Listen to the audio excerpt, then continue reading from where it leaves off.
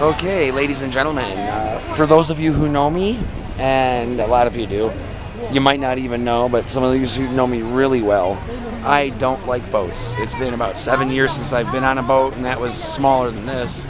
That was like, you know, personal private boat in uh, Wisconsin with a bunch of friends up in Lake St. Germain. But this is something I gotta say, hey, L. Michelle, you got me on a boat. I did. I'm like, I love boats. yeah, I'm, I'm nervous. I'm not gonna lie. I don't like boats, but hey, I got you on some rides that you might not like.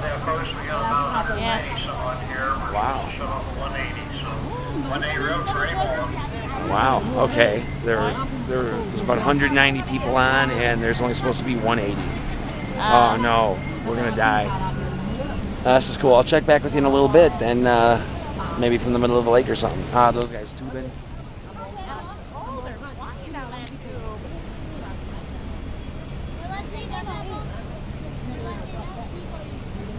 Yeah, I wish I liked water stuff more. It looks fun. I mean, I know how to swim. It's not that.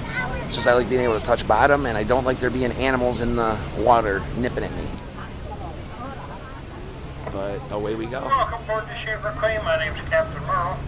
Michael's your first mate. We're heading off on a 30 minute cruise here on Lake Shafer.